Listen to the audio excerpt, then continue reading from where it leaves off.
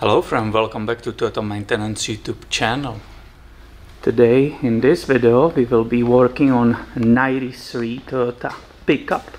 This one has that legendary engine 22RE, right? And you can see immediately it's in pretty nice condition and one of the reasons is it has very low miles. So let me show you odometer. It has 8470 miles. But the question is how real it is because neither speedometer, neither odometer works. And this was diagnosed by the dealer in the past when the owner was uh, there for some visit. They charged him half an hour for the diagnosis and they said it needs a new speed sensor. Here you can see how this whole sensor look like, right? I thought these older pickups they had still the cable, right? The physical cable coming to the speedo which was just physically transferring the speed but apparently I'm wrong and it's supposed to have this speed sensor. I did my best. I tried to find some good price, but at the end, including eBay, Amazon, whatever, the cheapest one I found was 270 bucks from the dealer. So let's go and try to replace it in this video. So truck is nicely in the air, right? So let's start looking on that manual transmission here from the driver side let's fire the light up right? So that's the engine. Here starts the tranny. If you can see here drain plug right? Filler plug and the level check plug.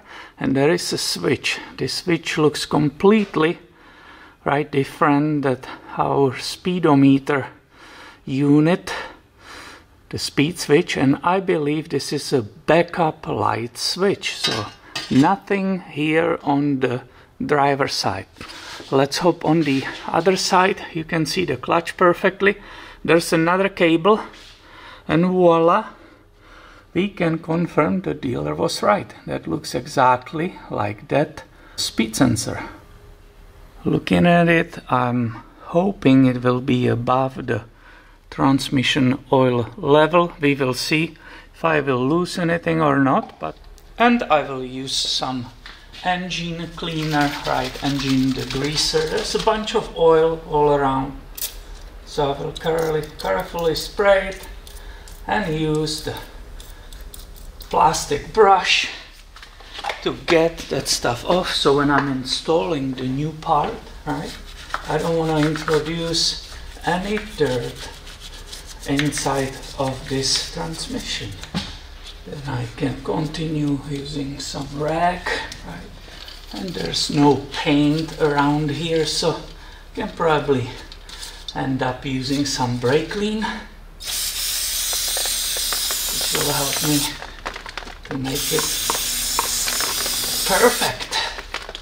That looks to me pretty clean right for this procedure so I will continue with unclipping this connector you just push on this tab and it should disengage upwards right? So that will need to be cleaned too.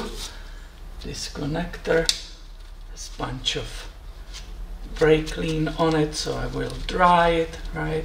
Needs to be perfect before connecting it back. That bolt looks to me like a 12 millimeter. Let's see if I got it correctly. Here okay. That was just normally tight. I can unscrew that. Put it on my magnet so I don't lose it.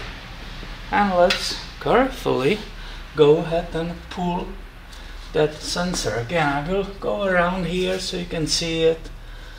I will normally not do this but whatever. Oh yeah. And good. I got my catching pen here there is definitely definitely overflow of the oil and there is a gear coming out with that sensor. When I was showing it to you, I was wondering how it works. Well, we will be transferring, right, this gear. And what is good, the gear is not damaged. So, so here you can see the brand new unit side by side with the old one, right? The new one came with the O-ring. You don't have to you don't have to order extra this o-ring it was included so obviously our next step is to transfer this plastic gear onto the new part if you look at it it's being held by some kind of clip so I need to pop that off right? Oh look. You don't even need any special tools or anything. The clip just gave up. And that should let me to transfer this gear on the new unit. Wow look at that.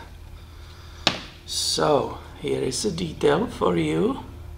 What we are dealing with shall I move the light maybe this way right so this is what it is and look at the end, right? That will need to correctly uh, be connected on the bottom. So I will look inside and it's in this position.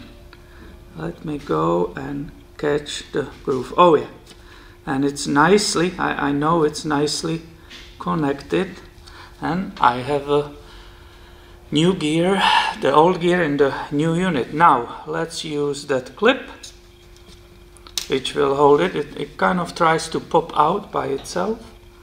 Let's use this clip. It should be logically this way. Boom. See that? And the gear will not come out and I can feel it's turning the sensor. So now I will loop slightly, right, very slightly. This o-ring, always follow that. And we can install this speed sensor inside of the transmission. And I set up this area again for you and hopefully you can see that gear inside right? I'm moving the light so hopefully you can see that gear which is actually inside of the transmission and is running the gear on the speed sensor and this is kind of foolproof install, right? There's no other position you could put it. It's just the one way, so carefully get O-ring, brand new O-ring. Let's see how it will go. Okay, carefully push it slowly. Yep, that nicely went there. Now it's back to that 12 millimeter. There's definitely no reason to tighten it too much, right? Because the O-ring will be providing the seal, not how much I will crank this bolt. That, that really can be just nice and little tight, but definitely not too much.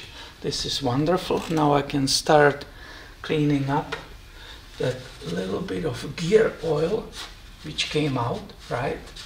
and I will be ready if that connector it's clean enough for me.